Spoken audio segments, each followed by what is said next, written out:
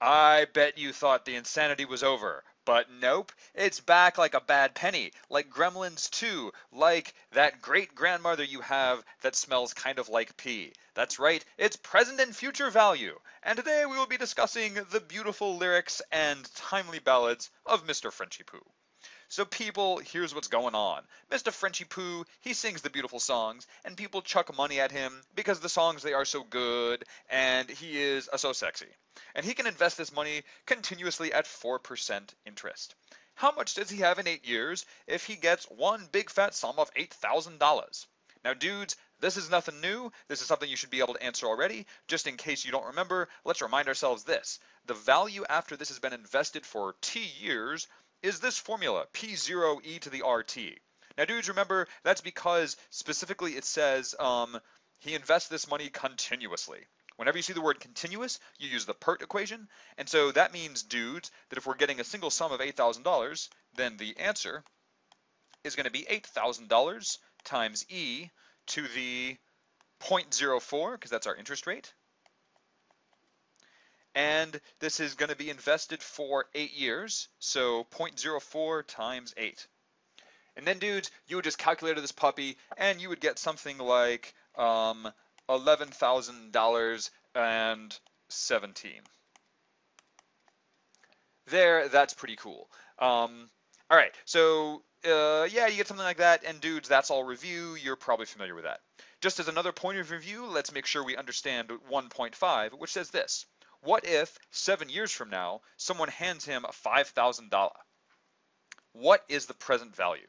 So dudes, remember, present value is just a fancy name for um, uh, now, as in how much it's worth currently. And so the way you should think about this is that if someone hands Mr. Frenchy Poo $5,000 in seven years, then what you're going to do is you're going to start seven years in the future, and then you're going to bring that money backwards in time seven years. So here's going to be your answer you're going to start with $5,000, and then we're going to use the e to the 0.04. But now the number that you use for your time is negative 7 because you start when he gets the money, which is seven years from now, and then you have to bring that money backwards in time seven years to get to the present. So that number, when you plug into the calculator, will be whatever your answer is. So dudes, that's just a reminder of how we did interest and present value and future value back in the day. Now here's the stuff we're learning in this new section, and here's the thing that's different. What if, instead of getting a single chunk of change from his admirers, he gets a continuous income stream?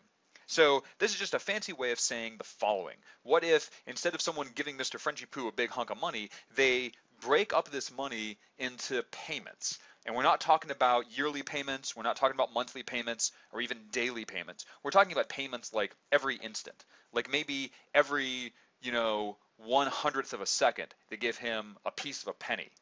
And so they give him money at a really fast rate, and maybe every instant they only give him a tiny little piece of money, but because they're giving him money so frequently, it just builds up and builds up and builds up, and after a few years, he's got thousands and thousands of dollars.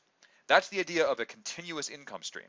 Now, you don't have to have that firmly embedded in your meat brains, but what you do need to know is that when you see a reference to an income stream, that's going to be a different type of problem. It's not a problem where you have a single investment. It's a problem where your investing happens all the time. At every single instant, you are investing new money. And it turns out there's a nice handy dandy formula for that, and it looks like this. It's an integral. Surprise! I bet you couldn't have seen that coming.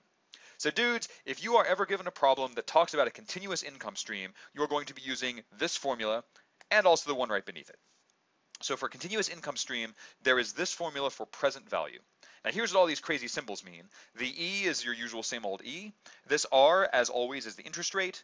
Um, in this case, T is a variable that's going to stay T.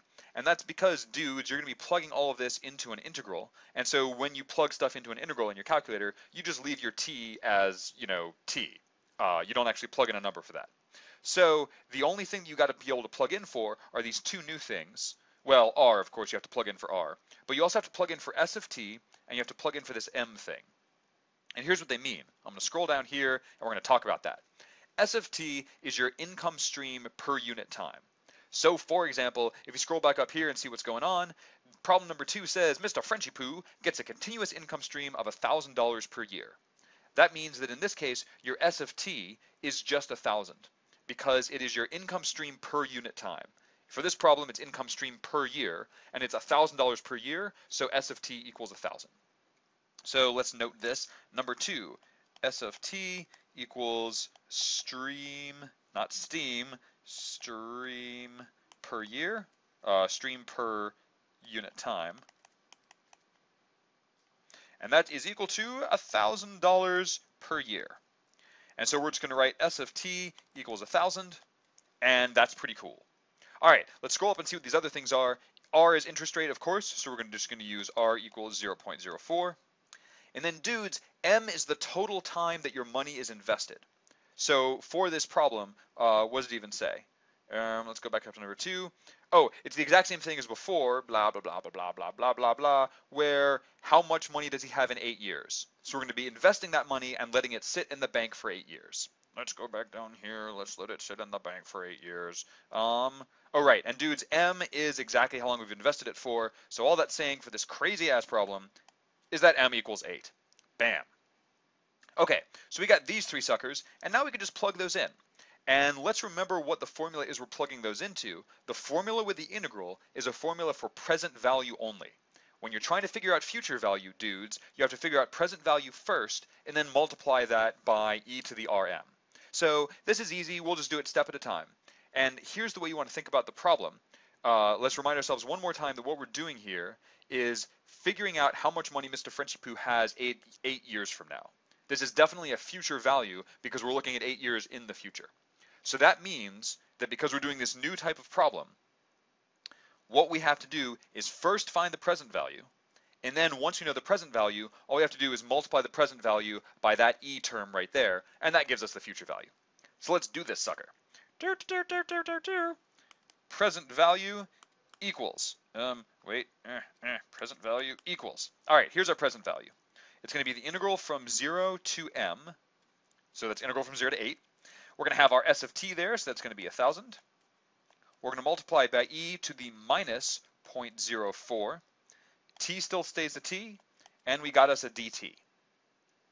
All right, dudes, this would be the integral, and then once you have that written down by hand, you can plug that crap into the calculator, and you just get, um, I don't even know. Let me think about it. I bet it's something like 6,846 point, I don't know, 27. All right, that sounds pretty good. And so that's going to be your present value, dudes. And that means that uh, basically, basically, basically, here's what that means, dudes. So before, if you would look at the present value, and you would say something like, oh, the present value is just $1,000 because that's how much is being invested. You got to remember that that's not true. What happens to Mr. Frenchy Poo is that he's getting $1,000 per year broken up into tiny little bits, but he's also getting that money for the period of eight years. So as he gets little bits of money now, they start accumulating interest, but there are other little bits of money that he doesn't get until way down the road. So basically, the worth of all of this crazy income investing scheme is a little under $7,000 right now. Getting $1,000 per year broken up into an income stream for eight years is worth about $6,800 right now. That's cool, I guess. All right, but we don't care about the present value. The question was actually, what the crap is the future value? And the future value is just present value times e to the r m. So our answer for future value is 6,846.27 um, times e to the 0.04 times 8. And if you calculated that puppy up, you should get something like um, 9,428 dollar and 19 cents. All right, dudes, that's your answer. So one more time, the ideas are pretty simple. If you're asked for present value or future value involving an income stream, income stream, income stream. If the problem involves an income stream, you're going to use these new formulas for present value and future value. If you need to find future value, first you have to find present value, and then you just multiply it by that term right there. And dudes, be careful to only use these formulas when the problem says income stream. If this is something that says you get a single chunk of money, then you're going to use the present value and future value formulas from way back in chapter one, and you don't have to mess around with this new stuff. All right, dudes, that's it for this one.